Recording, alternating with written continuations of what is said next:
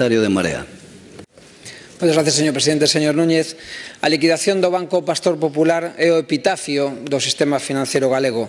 Unha entidade galega de 250 anos que resistiu ao crado 29, unha guerra civil, dúas guerras mundiais, a ditadura franquista, non foi quen de resistir nove anos da era Feijó, Asistimos á fase final dun sistema dun proceso de concentración do poder financeiro decidido pola grande banca que reduce a competencia real no sector.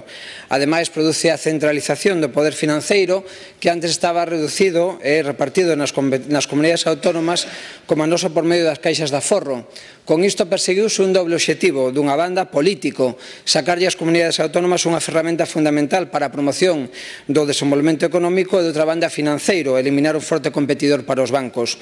Así, coa limitación das caixas, eliminouse a economía financeira, a autonomía da comunidade autónoma e eliminouse un obstáculo para a expansión dos bancos. A banca pública, que existe en moitos países liberais do noso entorno, é garantía da diversidade do ecosistema financeiro galego e facía de cortalumes a voracidade incendiaria Guardia dos Bancos. Onde estaba o PP para defender esa diversidade financeiro? Mesmo unha liberal como, como Aguirre defendeu o carácter público de Bankia.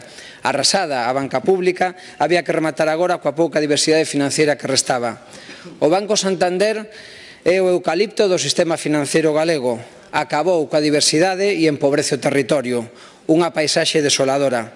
Pero ademais non estamos ante unha quebra máis, estamos ante un espolio.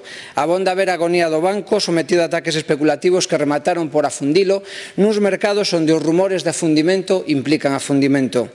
As preguntas que xorden son evidentes. Por que a dirección do Banco Popular non tomou medidas anteriormente á situación de liquidez? Por que os organismos reguladores non evitaron os ataques especulativos nos mercados bursátiles sobre o banco, como si fixeron con Liberbank? Non podían suspender a cotización en bolsa para evitar a reducción a cero do valor das súas accións, como fixeron no seu día tamén con Bankia? Por que as autoridades monetarias europeas dixeron que toda a banca española superaba os test de estrés bancario? Onde estaba o Banco de España?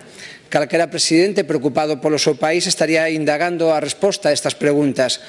Pero o señor Feijó é un presidente manso e mudo, como xa amosou cos orzamentos do Estado, cos prazos do AVE, coa transferencia da P9.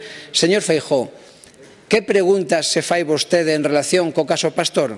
Ninguna, porque vostede sempre foi moito de eucaliptos. Por que non fixo nada? Por que ninguén fixo nada? Porque a operación ia dirixida que o Banco Santander se quedase co Pastor.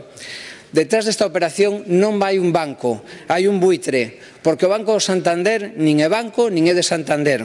O maior accionista do Santander é un fondo de investimento norteamericano chamado BlackRock e a cifra de negocio do Santander no Estado apenas acada un 12% do total.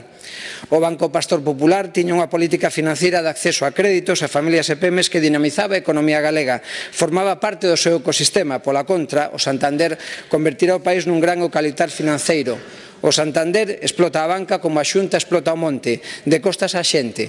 O negocio duns poucos a costa das maiorías, causando estragos en todo o país. Ademais, produciuse unha estafa, unha estafa con esta operación, igual que sucedeu cas preferentes. O 65% dos pequenos accionistas ten menos de 3.000 euros investidos en accións, pequenos accionistas que son estafados. 65.000 galegas e galegos que confiaron nos axentes das oficinas, pero sobre todo confiaron nun regulador bursátil en un banco de España que dixeron que os bancos estaban saneados.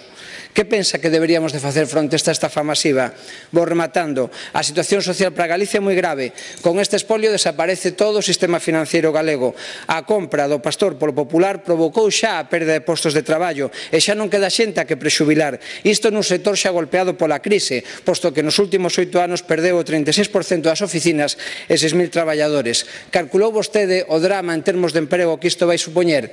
En 113 concellos oficinas repetidas do Banco Gracias. Pastor e do Banco Santander. Gracias, Calculou vostede a pérdida de emprego que isto significa?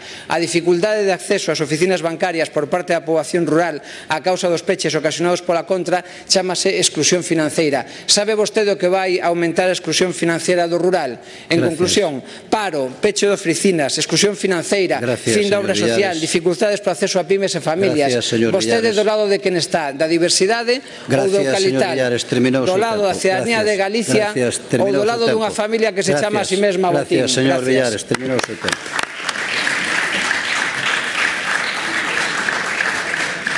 Eh, faithful.